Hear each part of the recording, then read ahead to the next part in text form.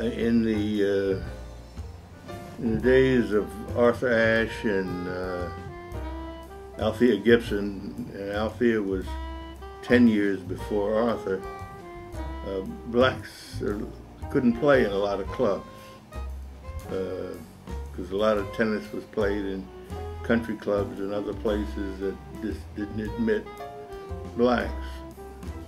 And so it is uh, especially significant that today there is a black woman who is the chairman of the board, CEO, and president of the United States Tennis Association. Her name is Katrina Adams. And uh, I'm very proud of her.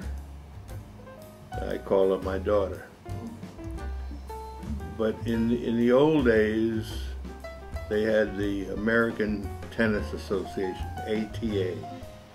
And so the championships were played at a place called Shady Rest in Scotch Plains, New Jersey. And that was where Arthur and Althea and a whole lot of others played. And the ATA was the black USTA of the day. Uh, today, of course, uh, blacks are playing all over the world, literally all over the world.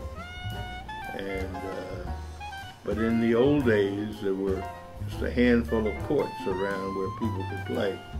One of which was uh, uh, called the Cosmopolitan, and which was located at 149th uh, and Convent Avenue. Uh, they built a apartment building there later, and the address was 441 Convent Avenue. Uh, incidentally, where my bride and I lived for six months or so when we first got married in 1953.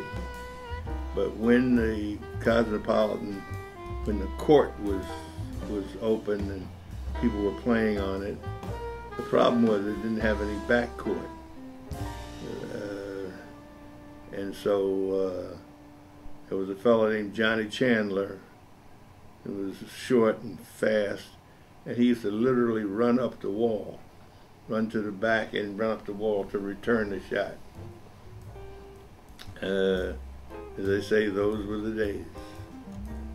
Uh, I am uh, constantly amazed at, at the, the, progress that has been made.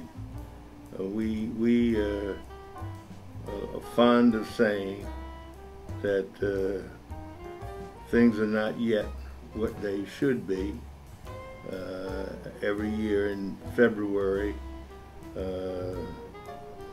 Dr. King's birthday and Black History Month, we talk about uh, uh, the answer to the question whether or not uh, we've achieved Dr. King's dream.